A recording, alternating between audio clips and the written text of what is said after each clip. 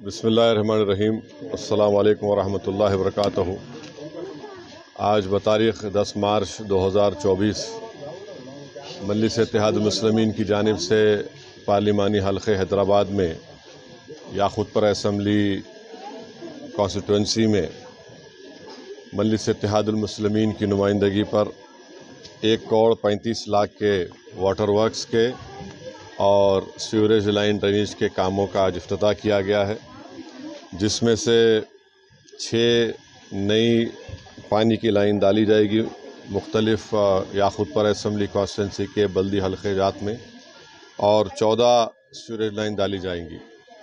वो छावनी में है, इमली वन में है, काली मस्जिद के पास, Jabilpura, Ganganagar Madannapet Madannapet Mandi Bano Nagar Azad Bagh, Kurmaguda Madannapet Alsafa dairy फिर बाग खादरदौला जवाहरपुरा भारत नगर ओवैसी नगर और क़ासिम कॉलोनी में।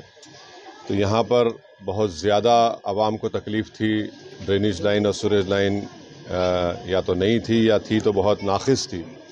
और पीने के पानी का पोल्यूशन भी आ रहा था। तो अल्हम्दुलिल्लाह आज इन एक करोड़ पैंतीस लाख के कामों का अफ्ताह याखुद पर असम्बली कॉन्स्टेंसी के मुख्तलिफ़ बल्दी डिवीज़न में किया गया है। और जैसा कि मैंने कल भी कहा वाटर वर्क्स के जो काम है, वो 20 मार्च तक मेट्रो वाटर वर्क्स बोर्ड में वो पानी के पाइपलाइन आएँगे और इन 20 मार्च के बाद पानी की लाइन के काम की शुरुआत की जाएगी। जहाँ तक सीवरेज लाइन का काम की शुरुआत है, वहाँ पर उन जिस जगह पर हमने काम का अफ्ताह किया, वहाँ पर सीवरेज लाइन के पाइप भी रखे हुए हैं और इन ताला वो काम जल्द से जल्द शुरू किए जाएँगे। जिस मुकाम पर हम आज यहाँ पर खड़े हैं गंगानगर के इलाके में आप देख रहे हैं कि मजलिस इतिहाद मुसलमिन की नुमाइंदगी पर आ, कई आ, जो नाला है नाला नाले को बड़ा किया जा रहा है। इस सिलसिले में बाज़ घरों को डिमोलिश भी करना पड़ा। तो वो भी उन घरों को डिमोलिश करके नाले को बड़ा किया जा रहा है रिटेनिंग वॉल को उठाया जा रहा है।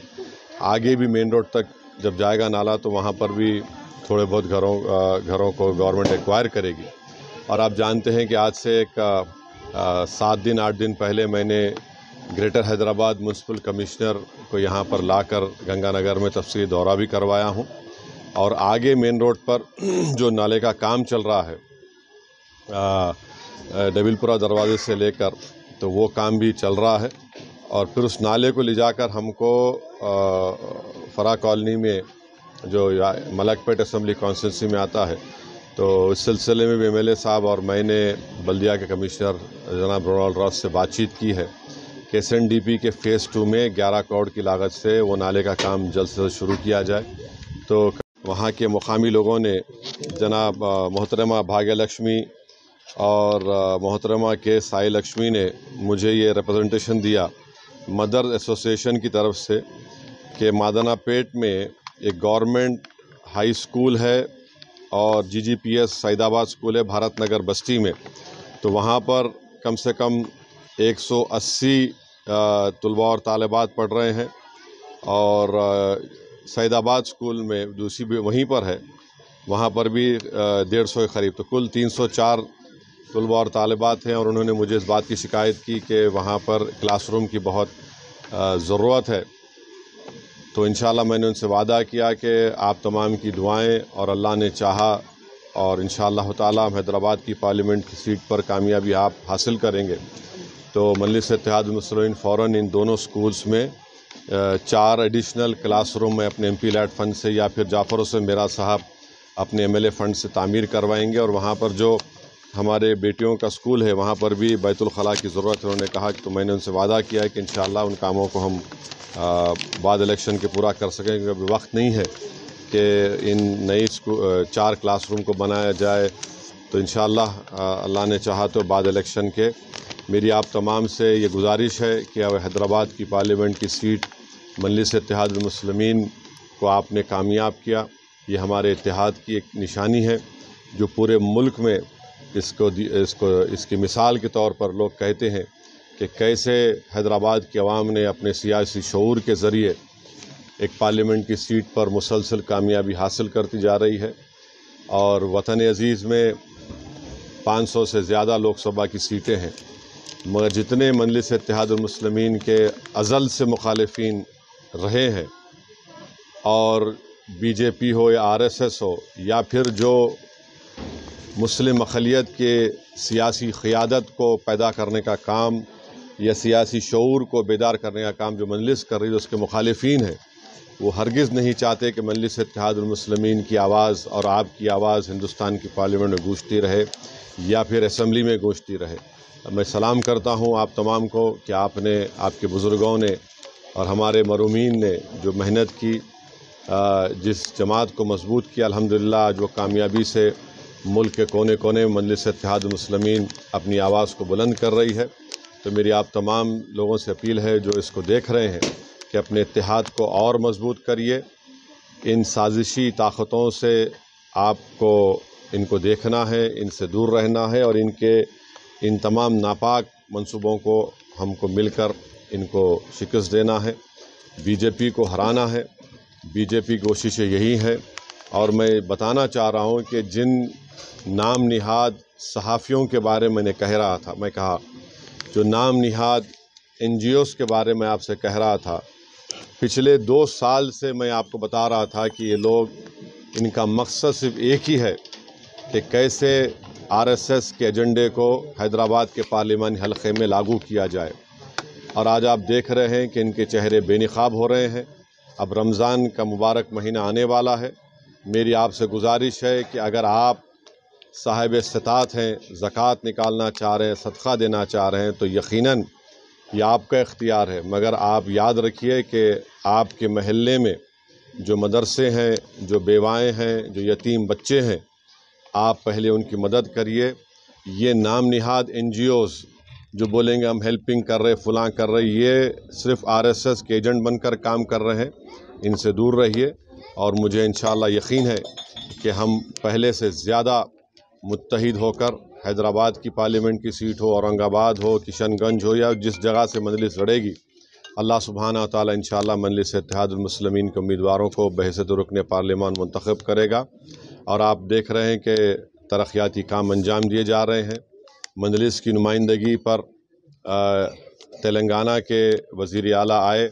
मैं उनका शुक्रिया भी अदा किया कि वहाँ पर फाउंडेशन सुन डाला गया, जो एक हिस्सा जुबली बस स्टैंड से लेकर फलकनुमा तक रुका हुआ है। वो उसका उन्होंने अफ्ताह किया और फिर मंजलिस ही की नुमाइंदगी पर जो एक लाइन डाली जा रही थी, एयरपोर्ट लाइन, जो L B Nagar Nagole, L B Nagar से होते हुए ओसी हॉस्पिटल चंद्रायन गुट्टा से जा रही थी तो मंजलिस की नुमाइंदगी पर चंद्रायन गुट्टा में वहाँ पर एक बहुत बड़ा स्टेशन बनाया जाएगा। इनके तमाम अरकान, असम्बली सदरमतमदीन हमारे मोज़ अरकान और मुतल रुकन असम्बली याकुतपुरा जनाब जाफ़र हुसैन मेरा साहब की बड़ी कोशिशें रही हैं। पिछले चार महीने में आप देखते हैं कि जब से यहाँ पर मंजिस के एम एल ए को आपने मंतखब किया जाफ़र हुसैन मेरा साहब को, बहुत से तरक्याती काम को अंजाम दिए गए। बल्कि मैं ये बात ज़िम्मेदारी के साथ कह सकता हूँ कि कम से सत्रह करोड़ की लागत से सिर्फ़ याखुदपुरा में नए सूरज लाइन के कामों का अफ्ताह किया गया। वो काम या तो मुकम्मल हो चुके हैं या जेर दौरान है या शुरू होने वाले हैं। जिसमें से चार करोड़ मेरे एमपी फ़ंड के तो मैं सिर्फ़ याखुदपुरा में बड़ा ताजुब है। ताजुब खैज़ वाक़ है, बड़ा ही शॉकिंग है कि इलेक्शन कमीशन ऑफ़ इंडिया अपना शेड्यूल जारी करने वाला है, तेरह तारीख के बाद कभी भी। और उससे चंद दिन पहले इलेक्शन कमिश्नर साहब, गोयल साहब अपना इस्तीफ़ा पेश करते हैं। तो इस पर नहीं मालूम क्या वजह है, क्यों उन्होंने इस्तीफ़ा दिया।